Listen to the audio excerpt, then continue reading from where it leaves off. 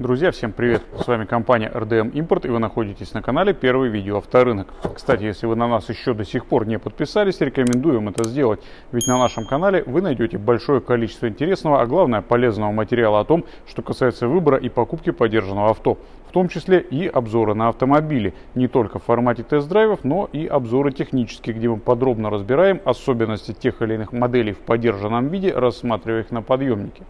Герой нашего сегодняшнего обзора из рубрики «На что обращать внимание при покупке поддержанного автомобиля» – это довольно экзотичная для нас машина. Этот автомобиль относится к классу полноразмерных внедорожников, а по своему происхождению уходит корнями в Соединенные Штаты Америки. У себя на родине эта модель присутствовала в нескольких ипостасях, в том числе и в люксовой версии. И в этом случае она называлась «Линкольн Авиатор» но большая часть данных автомобилей на российской вторичке в данный момент будут все же дилерскими. Если вы поставили перед собой задачу обзавестись полноразмерным полноценным рамным внедорожником, да еще и с тремя рядами сидений, то эту модель рекомендуем со счетов не сбрасывать. О том, с чем вы потенциально можете столкнуться и про что вы должны быть в курсе, прежде чем решиться на покупку, мы сегодня и поговорим. Встречайте Ford Explorer, четвертое поколение. Четвертое поколение внедорожника Explorer компания Ford представила в 2005 году. Эта модель простояла на конвейере до 2011 года и никаких рестайлингов у четвертой генерации не было. Что касается выбора силовых агрегатов, покупатели могли приобрести этот внедорожник с одним из двух вариантов бензиновых двигателей. Младшей в линейке была V-образная шестерка на 4 литра и 213 лошадиных сил. Более мощный вариант имел под капотом V8 на 4,6 литра и 296 лошадей. Коробки передач были только автоматическими, правда коробки стояли разные. Для 4-литрового двигателя коробка имела 5 ступеней, ну а версии с V8 комплектовались шестиступкой.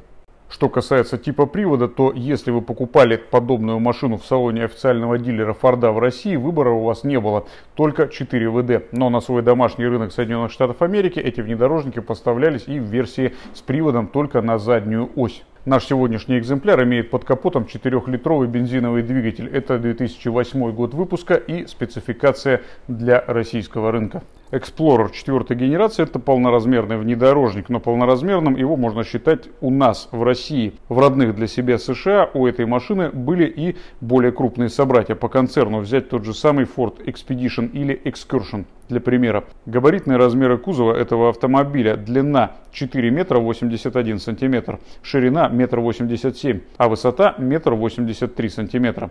Колесная база этого внедорожника 2 метра 88 сантиметров, что предопределяет достаточный запас пространства для ног задних седаков. Минимальное значение дорожного просвета до низшей точки 208 мм, а радиус разворота 5,6 метра.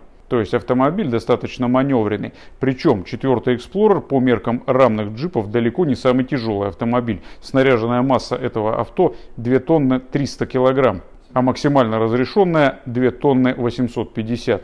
Что касается кузова с точки зрения толщины лакокрасочного покрытия и стойкости к коррозии, то здесь можно сказать следующее. С завода большинство европейских эксплореров были окрашены стандартно от 90 до 140 микрон. Однако шансы найти на вторичке подобный автомобиль совсем без косметических хотя бы окрасов довольно призрачны. Так что, как водится, основное внимание уделяем целостности проемов кузова и отсутствию следов серьезной деформации или следов серьезного кузовного ремонта. По части ржавчины Explorer 4 генерации также далеко не самый гниющий автомобиль. Конечно, с учетом внедорожной специфики этого автомобиля, а также с учетом региона эксплуатации, нужно осматривать понравившийся экземпляр, в том числе и на подъемнике, на предмет отсутствия следов сильной коррозии внутри колесных арок, на порогах и на днище кузова. Не забудьте также и про низы дверей. Кстати, капот этого автомобиля сделан из алюминия. А с учетом того, что машина рамная, первое, что нужно сделать, осматривая подержанный экземпляр Эксплорера, это убедиться в сохранности самого номера на раме. Поскольку в случае, если коррозия поразила номер на раме до степени нечитаемости хотя бы одного из символов, вы имеете неиллюзорный шанс уехать на экспертизу при попытке поставить такую машину на учет. И хорошо, если дело кончится нанесением на автомобиль полицейской маркировки. Что касается каких-то специфических кузовных болячек у этой модели, их по большому счету нет, разве что периодически отказывается работать задний стеклоочиститель, но дело здесь, как правило, решается его профилактической разборкой и смазкой, а также бывает подплавляются стекла задних фонарей. Причем эти вещи характерны только для европейских исполнений. Чистые американцы почему-то этой проблемой не страдают. Что касается салона и бортового электрооборудования, с этим у Explorer 4 генерации на самом деле все в порядке. Это довольно-таки простой автомобиль. Здесь нет какого-то повального количества опций.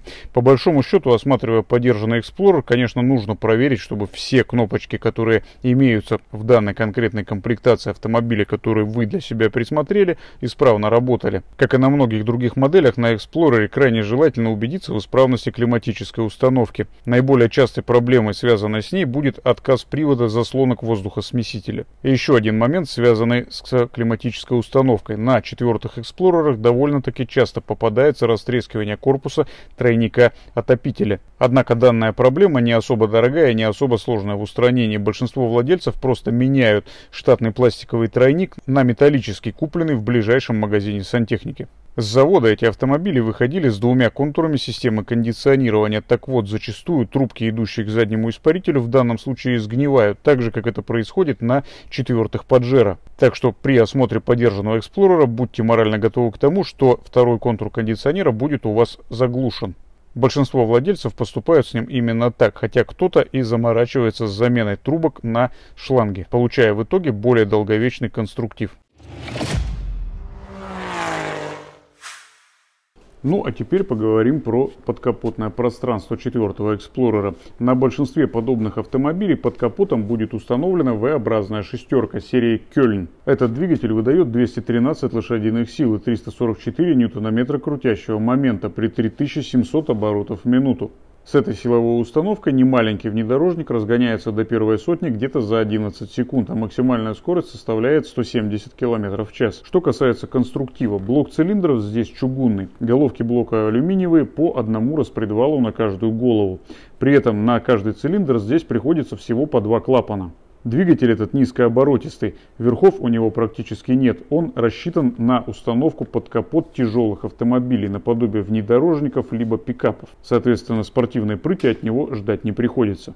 В клапанном механизме здесь используются гидрокомпенсаторы, поэтому с регулировкой зазоров клапанов на данных агрегатах вы никогда не столкнетесь. Впрыск топлива самый обычный распределенный, и все было бы совсем хорошо, если бы не привод газораспределительного механизма.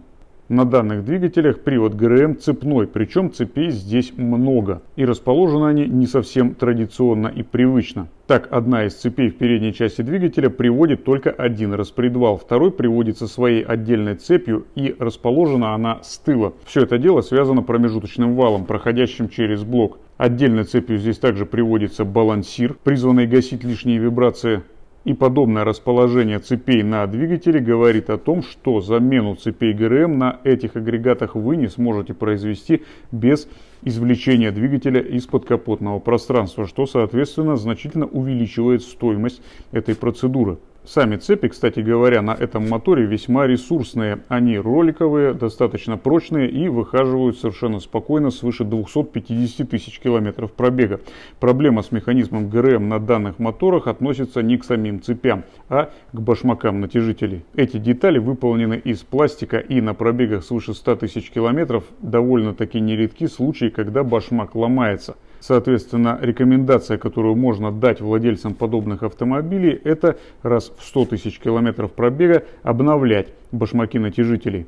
Довольно досадный конструкторский промах, которого можно было бы и избежать. Кроме этого момента, по большому счету, каких-либо страшных вещей, связанных с данной силовой установкой, больше нет. Все здесь достаточно основательное и ходит очень долго. Ну а что касается цилиндропоршневой группы, то здесь вообще все в полном порядке. Даже на совершенно огромных пробегах эти двигатели еще сохраняют следы хона на стенках цилиндров.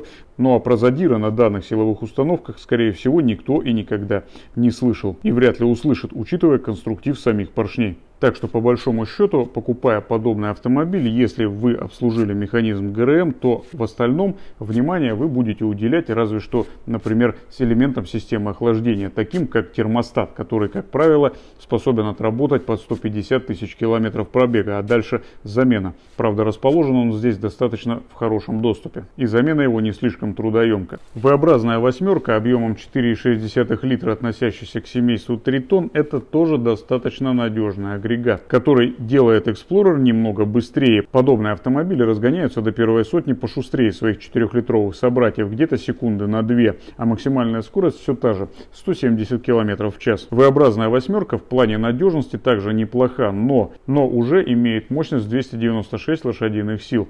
Так что ставка транспортного налога для таких автомобилей будет уже совершенно иная. Что касается надежности, каких-то суперкритичных вещей V-образная восьмерка по большому счету лишена. Однако многие владельцы подобных автомобилей сталкивались с необходимостью заниматься ремонтом выпускного коллектора. Либо прогорает прокладка коллектора, либо приходится менять обломанные шпильки крепления этого самого коллектора к блоку. Ну и если вы смотрите Explorer, чей пробег уже перевалил далеко за 300 тысяч километров, на всякий случай убедитесь в отсутствии шумов из головок блока цилиндров, поскольку на очень больших пробегах на V-образных восьмерках попадается износ распредвалов, который обусловит их скорую замену. Кстати, на V-образной восьмерке клапанов уже 24 то бишь по 4 на цилиндр. Соответственно, этот мотор будет гораздо поживее на верхах, нежели 4-литровый собрат. Так что при покупке основной момент, который нужно уточнить у предыдущего собственника, делал ли он что-либо с цепями и как давно. Крайне желательно, чтобы подобные манипуляции подтверждались наличием заказ нарядов.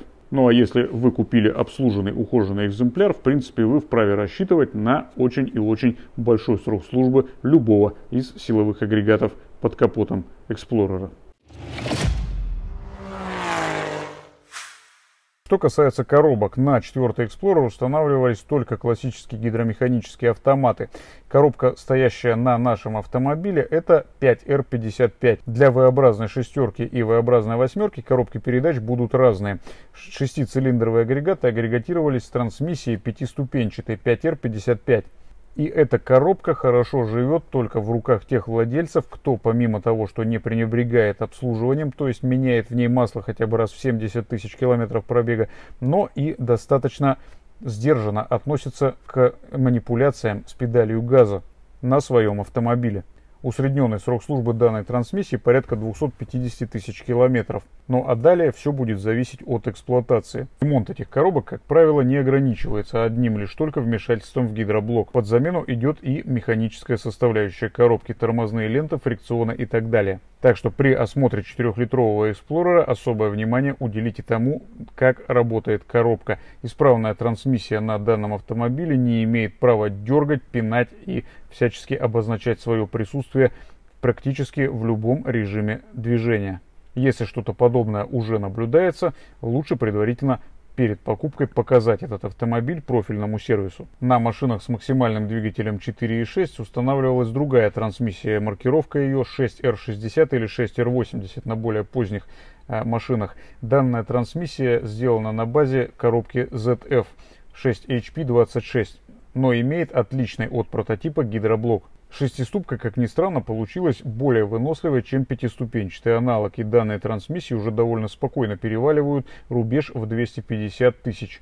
В любом случае, про необходимость обслуживать коробку забывать не нужно, как и про то, что с любым из моторов Explorer это все-таки не гоночный болид. Поэтому чем сдержаннее вы будете в плане стартов со светофоров, тем дольше проживет ваш автомат. Что касается полного привода, то на данных автомобилях трансмиссия может работать в одном из трех режимов.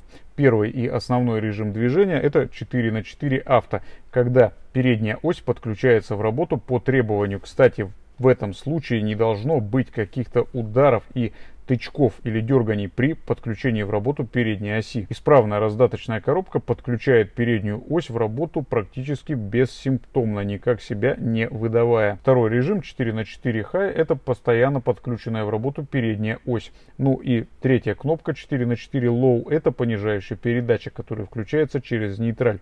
Что касается надежности данной системы, то основным фактором риска здесь будет цепь в раздаточной коробке, которая на автомобилях с очень большим пробегом запросто может быть уже подвытянута. Так что при осмотре подобной машины режимы э, работы полного привода проверять обязательно, в том числе и на предмет отсутствия лишних нехороших дерганий, ударов и звуков. Ну а теперь давайте взглянем, что представляет собой четвертый Explorer снизу. По своему конструктиву подвеска у этого автомобиля независимая, причем как передняя, так и задняя. Никаких мостов здесь нет. Тормоза на этих автомобилях в круг дисковые, а рулевая рейка гидравлическая. Причем какой-то повышенной хлипкостью этот узел здесь не отличается. Рейка ходит долго и хорошо. Но с поправкой на наличие в системе насоса гидроусилителя и, собственно, шлангов обязательно проконтролируйте их на предмет отсутствия течи рабочей жидкости. Также на предмет отсутствия подтеков надо проконтролировать и сальники приводов. Причем это касается как передних, так и задних. Если пробег у автомобиля достаточно большой, свыше 200 тысяч километров, то сальники приводов вполне уже могут проситься на замену. Компоненты стабилизаторов поперечной устойчивости, как переднего, так и заднего, на этих автомобилях, также, как ни странно, не относятся к каким-то хлипким моментам. Верхние шаровые опоры редко кто-то менял ранее 120 тысяч километров, а нижние шаровые и того больше. Сайлентблоки передних рычагов же работают далеко за 200 тысяч километров пробега, то есть по части ходовой Explorer 4 это очень хороший крепкий автомобиль. Памятуя о том, что этот автомобиль имеет полноценную раздатку, соответственно, здесь у нас два кардана, рекомендуем обратить внимание на исправность крестовин карданных валов. Особенно это касается переднего кардана. Оригинальные ступичные подшипники на этих автомобилях, кстати, тоже ресурсов не обделены. До пробегов в 150-200 тысяч, как правило, никакого вмешательства они не требовали. Кстати, передний ступичный подшипник здесь меняется только в сборе с самой ступицей, а вот задний можно поменять отдельно от нее. Задняя подвеска, как мы уже сказали, на четвертом Explorer независимая, никакого моста здесь нет, редуктор, привода, а, сайлентблоков много, но сайлентблоки эти достаточно массивные и довольно-таки крепкие. На пробеге ранее 250 тысяч километров вам вряд ли вообще в принципе придется обращаться к их замене.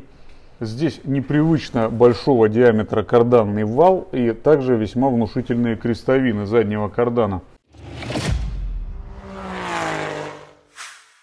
Ну а теперь общие выводы по Ford Explorer 4 как по модели. На самом деле в активе этого автомобиля есть целый перечень качеств, за которые его можно рассматривать как вариант для покупки, если вам нужен полноценный рамный внедорожник. Первый момент это довольно-таки хорошо сопротивляющийся коррозии кузов. Семиместная компоновка – довольно просторный салон, хорошая плавность хода и крепкая ходовая часть. Что касается двигателей и коробок передач, у адекватного водителя эти агрегаты при должном уходе будут исправно работать в течение очень многих сотен тысяч километров пробега. Слабых мест у агрегатов этой машины немного, конструктивно они очень простые и болячки известные. Самый ключевой момент, который может сыграть решающую роль при выборе в пользу этого автомобиля, это его стоимость на вторичном рынке относительно японских одноклассников.